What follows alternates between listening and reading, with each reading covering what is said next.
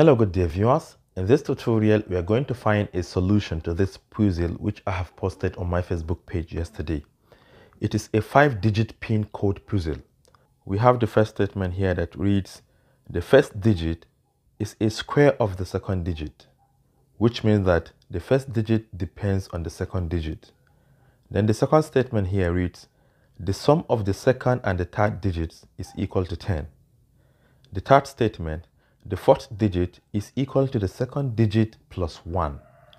And the first statement here reads, the third plus the fifth digits is equal to 14. So if you add the third and the fifth digits together, you're going to obtain 14. And the last statement here reads, the sum of all of these five digits together equals 30. All right, let's get started. Let's assume we have the first digit here, the second digit here, the third digit here, the fourth digit here, and the fifth digit here. Remember, according to the first statement, first digit depends on the second digit. Therefore, we have to know exactly what is the second digit before we could obtain the first digit. And even the second digit is unknown, so we can declare it with a variable. So I would like to declare the second digit with m. So let's assume this is m.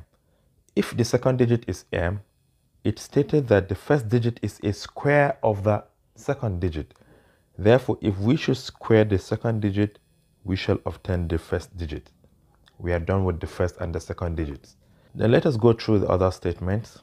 According to the second statement, it reads the sum of the second and the third digits together equals 10. Okay, let us add the second and third digits together second digit plus third digit equals what? Is it 10? Let me confirm. Yes. But we are looking for the third digit so we can make it the subject. Therefore, the third digit is equal to 10 minus the second digit. What is the second digit? The second digit is m. So we have the third digit to be equal to 10 minus m. Therefore, we can write 10 minus m here.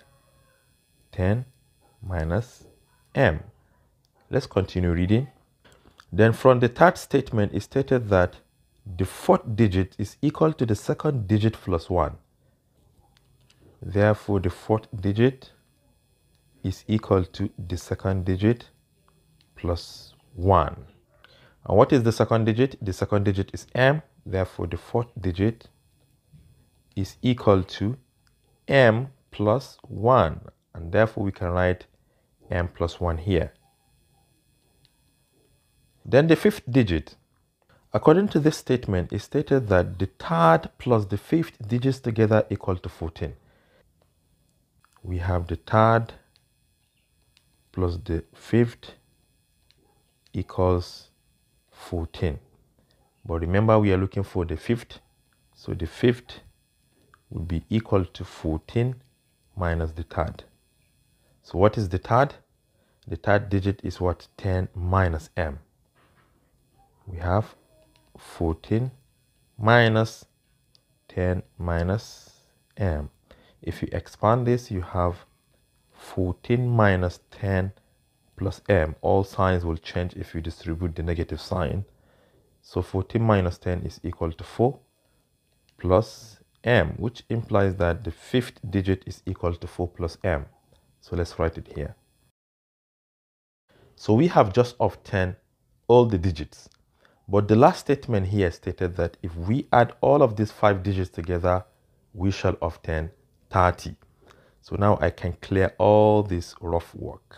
Let me clear it.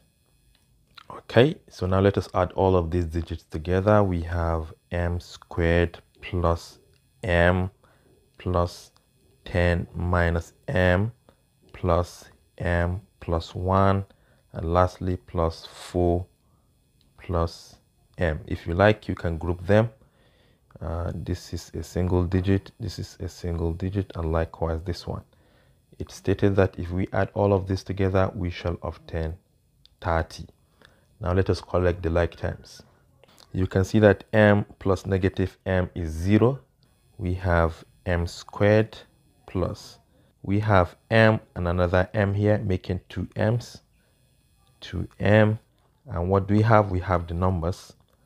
10 plus 1 is 11 plus 4 is 15 so we have plus 15 here.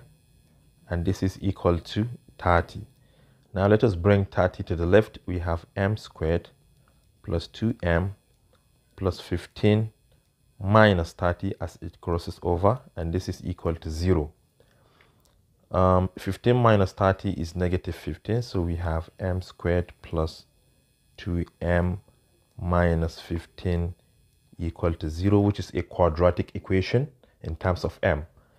We can factorize this. Let us just think of two numbers we can multiply together to get negative 15 but when we add them together we get positive 2 and the numbers are 5 and negative 3 so we have m plus 5 multiplied by m minus 3 the whole of this equal to 0 by setting each factor to be equal to 0 it implies that either m is equal to negative 5 or m equal to positive 3 but remember all of these digits are positive and hence we are going to consider uh, m equal to 3 and discard this one so if m is equal to 3 let us go back and substitute we have seen that m is equal to 3, right? So we have 3 squared here, we have 3 here, we have 10 minus 3, we have uh, 3 plus 1, and lastly we have 4 plus 3. Let's simplify. We have 9, 3, 7, um, 4, then 7.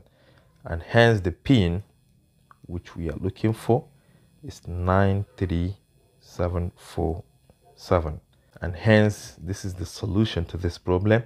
You can go through the statements given to find out whether these pins are correct or not. Thank you for watching. Do share to your learning colleagues and don't forget to subscribe to my youtube channel for more exciting videos. Bye bye